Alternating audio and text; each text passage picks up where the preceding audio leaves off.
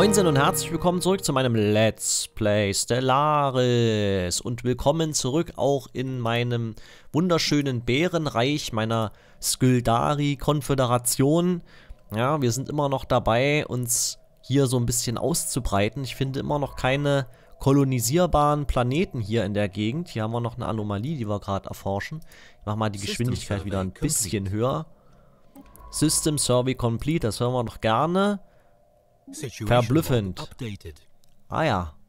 So, Moment, hier müssen wir gleich mal das System erkunden. Das gehört nämlich zu einer Aufgabe. Zu welcher Aufgabe gehörte das eigentlich nochmal? Ich weiß es gar nicht mehr. Wir haben schon so viele Aufgaben, so viele, so viele Sachen, die wir tun müssen.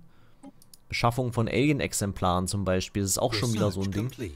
Treibende Wolken. Research complete. Ah, ah, ah.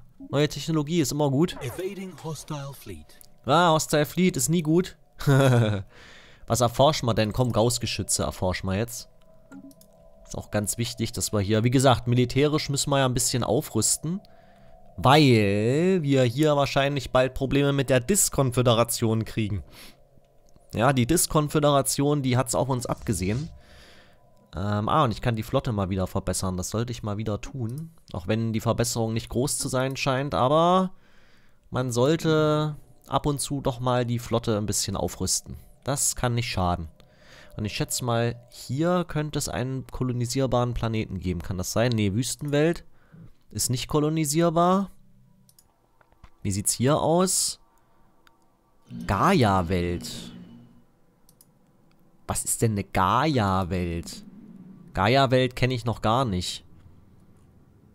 Aber Gaia-Welt klingt eigentlich gut, weil Gaia ist ja Mutter Erde, ne? So, mehr oder weniger.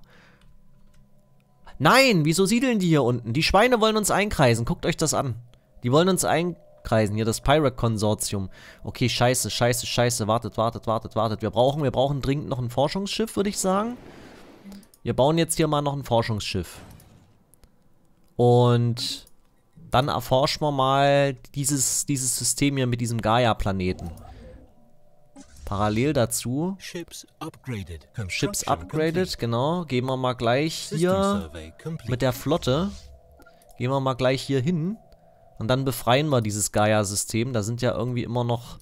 Da sind ja irgendwie noch Gegner drin. Oder da wurden Gegner gesichtet. Und dann wird das da kolonisiert. Dann breiten wir uns halt in die Richtung aus. Wenn wir uns halt schon nach oben nicht mehr ausbreiten können. Was, wer ist gestorben? Nein, Wissenschaftler ist gestorben. Ah, ist nie gut brauchen einen neuen. Wen nehmen wir denn da jetzt? Äh, den hier. Verdammt, jetzt habe ich hier einen, der eigentlich für, die, für den Ingenieursbereich gar nicht geeignet ist. Ach, egal. So, jetzt hat hier jemand wieder was erforscht. Ne, ihr habt erforscht. Ah, hier, hier, hier, hier, hier. Das Projekt musste erforschen. Mensch! Du kannst doch nicht aufhören, das Projekt zu erforschen. So, ich bin mal gespannt. Jetzt kommen wir ja auch von hier bis hier hin. Mal schauen, ob da Gegner sind. So, wie sieht's hier aus mit euch? Genau, das ist die Flotte. Ich muss jetzt aber erstmal warten, bis das Schiff fertig ist. Das Forschungsschiff, das ist auch fertig. Da rekrutieren wir gleich mal ihn hier. Der hat nämlich ein niedrigeres, Fehl niedrigeres Fehlschlagrisiko bei Anomalien. Das ist sehr gut. Den schicken wir gleich mal hier hin und die Flotte schicken wir hier hin. Dann können wir nämlich gleich, wenn die Flotte die Feindschiffe beseitigt hat, können wir gleich mit dem Forschungsschiff nachrücken. Und können da gleich forschen. Was ist denn das eigentlich? Ach, das sind mal wieder hier so... Was sind das? Weltraumamöben. Ortus. Das ist das sogenannte Ortus delicti. Bäh. Das sieht schon äh, ziemlich ähm, appetitlich aus. Und sie sind, glaube ich, auch gerade... Sie haben uns gerade gesehen. Kann das sein? Boah. Die schießen, ja. Die Schweinchen. Da geht's ab hier. Guckt euch das mal an. Und geht's hier. Nicht schlecht. Macht sie platt. Jawohl, sauber. Okay, gleich pausieren. Wir schicken da jetzt nämlich gleich erstmal unser Forschungsschiff ins System. Das kann das System gleich mal erkunden. Hey, hat er das jetzt nicht pausiert? Ich habe doch hier drauf gedrückt. Also manchmal, ne? Also ich glaube, ich sollte echt die Space-Taste benutzen, anstatt immer da oben zu drücken. Weil ich habe schon oft das mal festgestellt, wenn man hier oben drückt, macht es zwar dieses Typ, das man da drauf gedrückt hat, aber es ist trotzdem immer noch beschleunigt, die Zeit, und nicht pausiert. Das finde ich immer ein bisschen doof. Jut-Überreste. Hier, ne? Hier war das. Okay. System erkunden.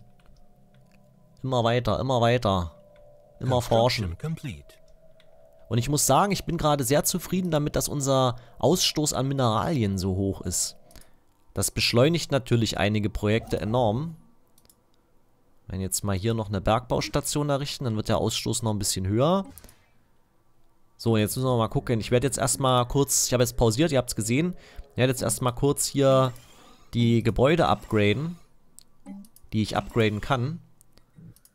Damit wir auch noch ein bisschen mehr Energie dazu bekommen. Weil Energie ist gerade so ein bisschen ein Engpass. Und das müssen wir ein bisschen ausgleichen oder versuchen es auszugleichen über planetare Einrichtungen. Planetargebäude und so. Und hier vielleicht auch gleich, gleich noch ein Labor bauen, genau. Hier machen wir mal das Geländefeld frei, denn hier können wir ganze zwei Forschungspunkte für Sozialforschung abstauben. Die brauchen wir unbedingt. Denn ihr seht es, die Sozialforschung ist bei uns der schlechteste, hat bei uns den schlechtesten Forschungswert. Das ist gar nicht gut. Das müssen wir ändern. Das geht besser. Also hier bauen wir mal ein Kraftwerk. Und zwar, nee, wartet mal, wir bauen hier mal einen, baue ich da einen Energiehub? Hm, ja, ich baue da einen Energiehub. Dann bauen wir hier noch ein Kraftwerk. Und diese Sachen löschen. Ach, es geht nicht. Okay, wir haben keine Mineralien mehr. Alles klar. Na gut, wir haben das jetzt weit genug erstmal ausgebaut. Jetzt lasse ich die Zeit erstmal wieder weiterlaufen. Ich werde das immer so machen, wenn wir hier eine ordentliche Menge Mineralien haben, dass ich dann hier erstmal die Zeit pausiere, damit ich in Ruhe die Spielzüge machen kann. Ganz wichtig. So, und sobald hier dieser Gaia-Planet erforscht ist, werden wir gleich mal in diese Richtung hier siedeln. Denn wir müssen unbedingt verhindern, dass die Hanseln hier dass die sich, dass die uns hier einkreisen. Die dürfen uns nicht einkreisen. Dann, dann können wir uns nämlich nicht mehr weiter ausbreiten. Ganz schlecht wäre das. Ah ja, wir haben hier... Wir haben den Gaia-Planeten erforscht, alles klar. Gleich siedeln. Gar nicht erst warten, sondern gleich dahin. Kolonisieren. Oh, das ist kein großer Planet. Ist aber egal. Hauptsache, wir haben hier einen Außenposten. Guckt mal, da ist nämlich schon ein Forschungsschiff von denen unterwegs. Habt ihr es gesehen? Da. Da sind sie. Die kleinen Schweinchen wollen uns dieses System wegschnappen. Also die wollen es zumindest erstmal erforschen. Aber damit steht auch das Risiko, dass sie es einen wegschnappen. Gaia-Planet, okay. Bin mal gespannt. Auf diesen Gaia-Planet. Huch. Ach, mal wieder so eine Wahl. Immer diese Wahlen. Das gibt's doch nicht. Wer die Qual hat, hat die Wahl. so, da kommt unser Forschungsschiff. Äh, unser Kolonisationsschiff meine ich natürlich. Interessant. Oh. Sternreisende begrüßen euch als gleichberechtigt. Da haben wir eine Vogelrasse entdeckt. Habt ihr das gesehen? Eine Vogelrasse. Auch gut. So, wir müssen mal unbedingt auch mal hier freiräumen. Da sind auch Gegner. Was ist eigentlich mit der Flotte? Die Flotte, die kann mal... Die kann mal zurückgehen, die kann sich mal heilen. Schön für ihn. Auch unser Forscher ist akribisch. Ja genau, der hat eine neue Fähigkeit bekommen. Ist natürlich nice. Da kann er jetzt gleich mal hier die Trümmer erforschen. Research complete. Ah ja, Moment. Wir können wieder forschen. Dann forschen wir doch mal Weltraumblitzleitung, würde ich sagen. Und hier forschen wir an... An daran. An daran. an dem Schadensbonus für Armeen und Feldproduktion Mineralien. Das ist immer gut. Und wir haben hier oben ein System erkundet, ne? Wenn ich das jetzt richtig gesehen habe. Genau. Guck mal, hier ist so ein Spezialprojekt. Immer gleich erforschen, diese Sachen. Ganz, ganz wichtig ist das. So. Also der forscht und der da oben forscht auch. Und hier läuft die Kolonisierung. Wunderbar. Sehr schön. Das ist ganz wichtig, dass wir hier kolonisieren. Und hier, das, äh, das Konstruktionsschiff, das kann hier mal noch eine Forschungsstation bauen, damit wir auch schön Ingenieursforschungspunkte kriegen. Und danach, wenn wir hier die Kolonie haben und hier den Einflussbereich ausgedehnt haben, dann können wir hier nämlich noch ein paar Bergbaustationen bauen und sowas alles. Das unglückselige Schicksal des Planeten ist eindeutig den Launen des Kosmos geschuldet. Eine Gravitationsstörung nach misstrauischer Betrachtung der Sonne des Systems machten die Skuldayan Wissenschaftler eine vorübergehende Raumzeitanomalie als wahrscheinlichen Verursacher aus, hat den Planeten aus seiner natürlichen Umlaufbahn in einen Orbit gezwungen, der viel zu nah an der Sonne vorbeiführt. Der Planet schraubt sich zwar langsam wieder an seine ursprüngliche Umlaufbahn zurück, wurde aber seither von der Restwärme des Sterns gekocht. Was? Einfach so gekocht. Was ist hier? Hier ist auch ein Spezialprojekt. Wartet mal. Ich mal kurz pausieren. Pausieren. Wie er es nicht macht. Genau, das äh, ist ein Spezialprojekt, ne? Forscher hat Fähigkeit 3 oder höher. Okay, da brauche ich einen von meinen Veteranenforschern. Vielleicht Incheck hier. Komm mal her. Du musst mal hier was erforschen. Kollege. Und du?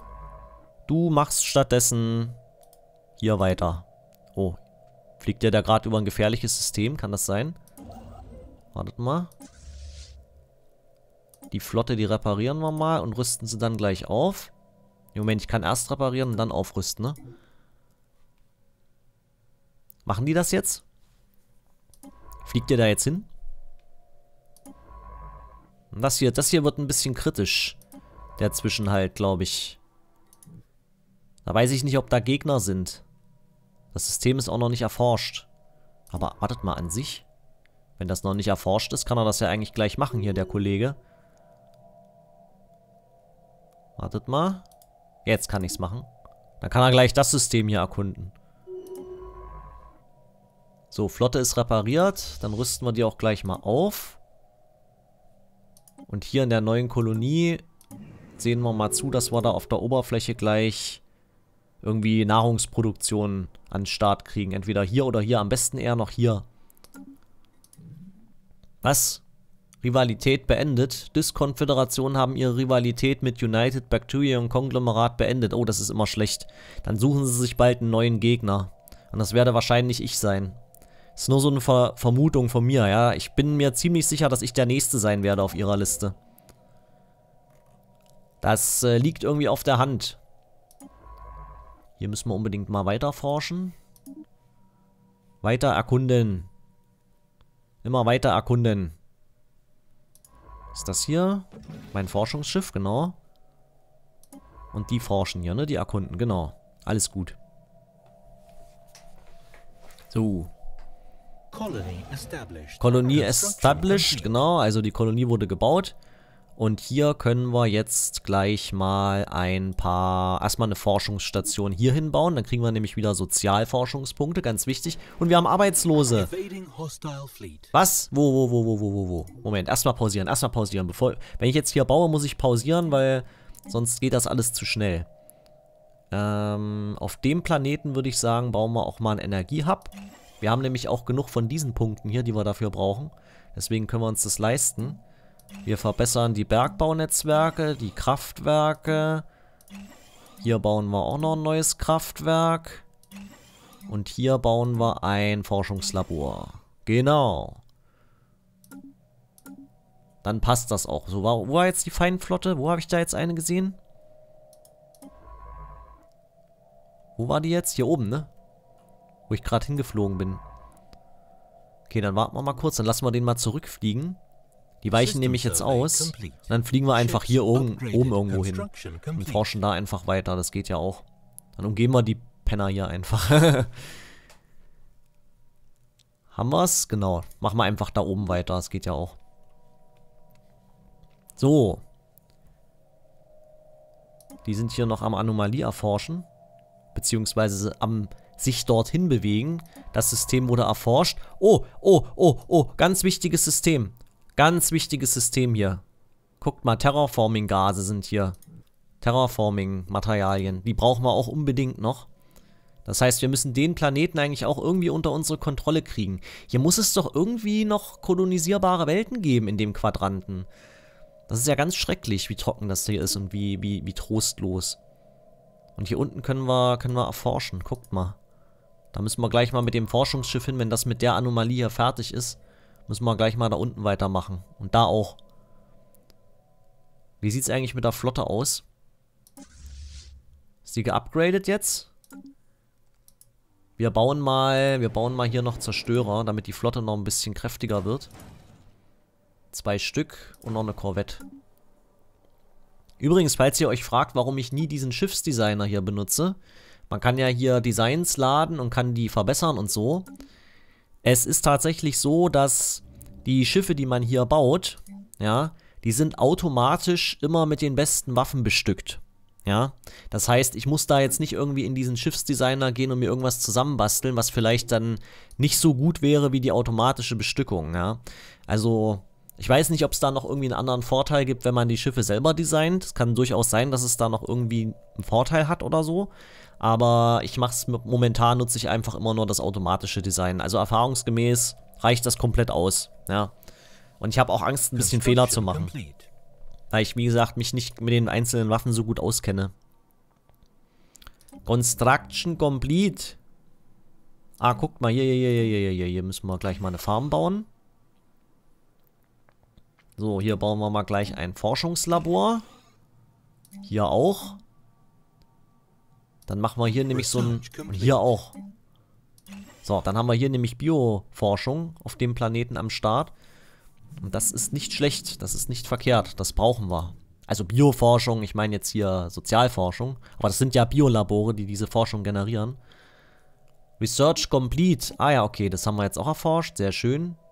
Trefferpunkte Militärstationen. Das ist, glaube ich, ziemlich wichtig, das sollte ich erforschen, auch wenn es 63 Monate dauert.